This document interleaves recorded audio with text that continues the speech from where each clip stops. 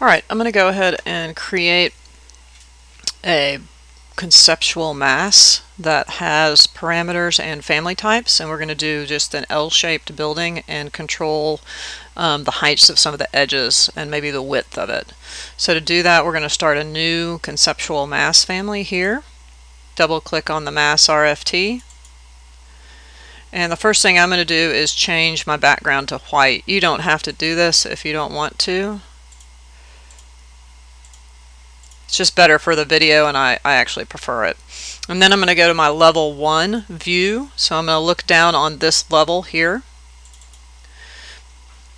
And I'm going to create a model line on level 1 just sort of down in this corner. So left click, left click, not being you know overly precise about how big things are. And once I get to that point I'm going to select modify to stop the, the line command. And then I'm going to tab until I select this single line. And I'm going to change that to 30 using the listening dimension. And then I'm going to select this single line here. I'm going to change that to 70. So it's going to move whichever line I have selected, obviously. And then I can tab, select that line, change that to 30 right? And then I can tab select that line and change it to 70. So we've got sort of an even L there. Once I'm done with that, I'm going to go back to my 3D parallel view, this bracketed view, double click on that in the project browser, select that outline and go to create form. And it's going to shoot that form up in the air 40 feet. You can see by the listening dimension here. I only want it to be 20 feet tall, so I'm going to left click on that listening dimension and type 20. Alright. I'm going to go ahead and make that, that dimension permanent by selecting the dimension icon right there. And now it will show up, you know, whenever, even if I'm not selected on the object. Okay, so the next thing I want to do is move each of these edges up. So I'll make a butterfly roof with the valley right here at the elbow. So if I pick that edge and I go to my listening dimension and I type in 30,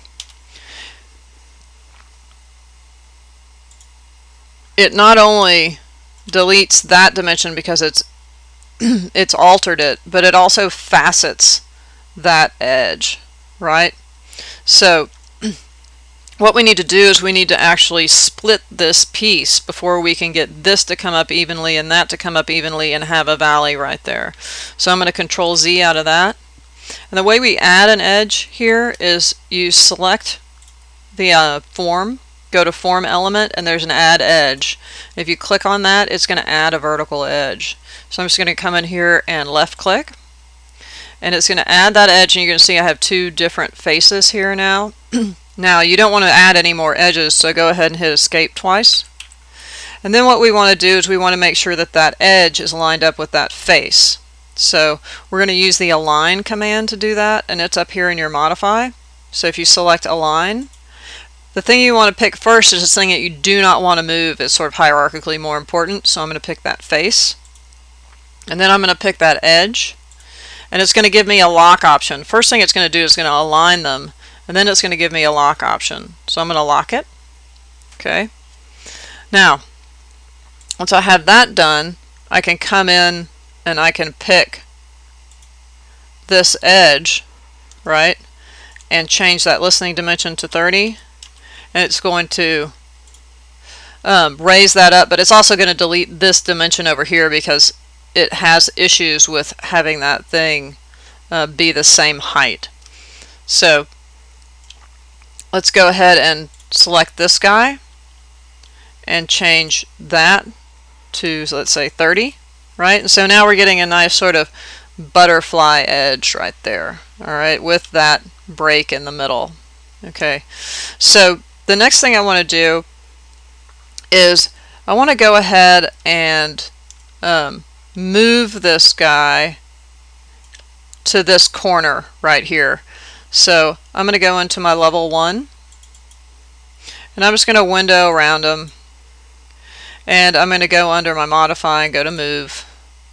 And I'm going to pick that corner and just move it right to that intersection. Okay, so once we've got that done, I'm going to go back to my 3D view. And I'm going to align um, some of these ends to these reference planes just to keep it locked down. So again, the align command, align with that reference plane, that face, lock it. Align with that reference plane, that face, lock it. Align with that reference plane, that face, and lock it. So now that thing is sort of, those faces are locked to those reference planes. Alright, so the next thing I want to do is I want to create parameters that control the heights of these sort of butterfly wings. So if I pick that edge again and zoom in, I can make that dimension permanent there and I can do the same thing to this other one. So I'm just zooming in, picking the edge, and then clicking on the dimension icon next to the dimension I want to make permanent. This one's kind of over on the side, so I'm going to pick it and hover over it until I get a move option. There it is. And move it over to this side. It's a little easier to see. Now I'm going to add parameters to those. So select, add parameter from label, and I'm going to name this one fly long. Okay. So that's the long edge. And then I'll take this one, add parameter, and name it fly short. Whoops, flay short. Fly short. Okay. And then maybe we also want to control the, the width of these. So if you want to, you can also go to create and you can create an align dimension. So I'm going to create an align dimension. I'm going to set the work plane to be level 1. And I'm going to pick this reference plane and I'm going to align it to that face. Alright, so you see it just creates a dimension for you. So I just made two dimensions that represent the width of that form. Now I can pick both of those go to a label, add parameter, and make a W parameter. So now we have three parameters. So what can you do with these? Well, you can make different family types. So I'm going to sort of zoom out a little bit and then pan into the corner. I'm going to open up my family types dialog and you see you have W, fly short, and fly long.